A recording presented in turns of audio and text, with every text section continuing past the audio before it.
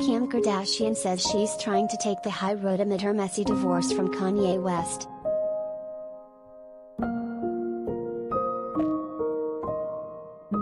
I'll always be protective. I always want my kids to just see the best of the best.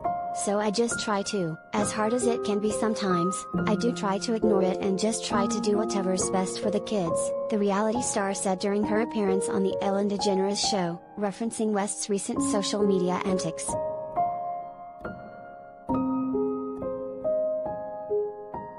I always saw such a good example in my mom and my dad in their relationship, so I'm always just hopeful. And no matter what goes on, Kanye's, the father of my kids.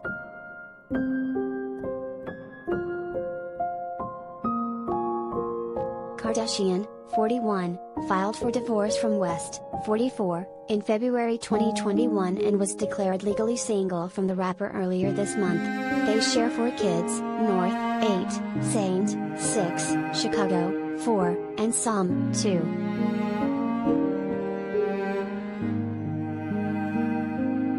The Skims founder told DeGeneres, 64, that she tries to look at her and West's current struggles as life lessons.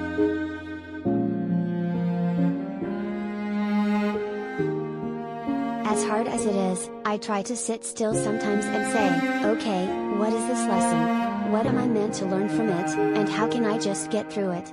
She explained. I know that seems super zen but it's really what I do.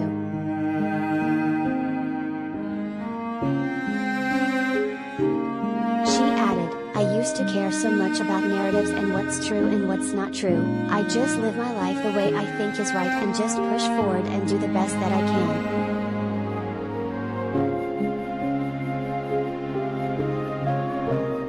Kardashian's interview with DeGeneres aired just days after West got into a heated text exchange with the reality star's new boyfriend, Pete Davidson.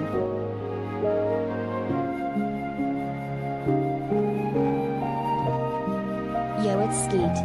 Can you please take a second and calm down? It's 8 am and it don't gotta be like this, the Saturday Night Live funny man texted West on Sunday, shortly after the rapper went on a rant about Kardashian's parenting skills via Instagram. Kim is literally the best mother I've ever met. What she does for those kids is amazing and you are so f***ing lucky that she's your kid's mom, Davidson continued.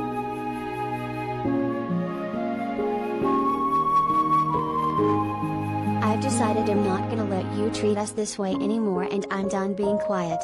Grow the FK up.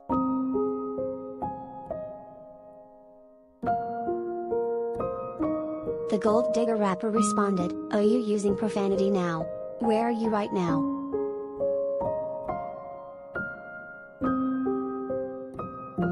In bed with your wife, Davidson, 28, clapped back, accompanying his text with a photo of himself shirtless under the covers.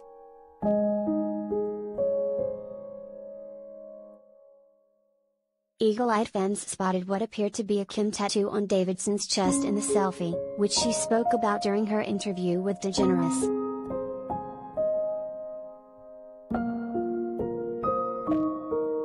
It isn't a tattoo, it's actually a branding. Because he wanted to do something that was really different, Kardashian confirmed.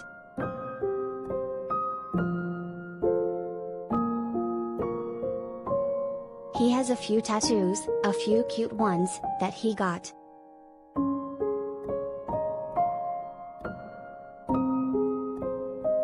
Kardashian and Davidson were first romantically linked in October 2021 after she hosted SNL. The two finally went Instagram official earlier this month after Kardashian was declared legally single.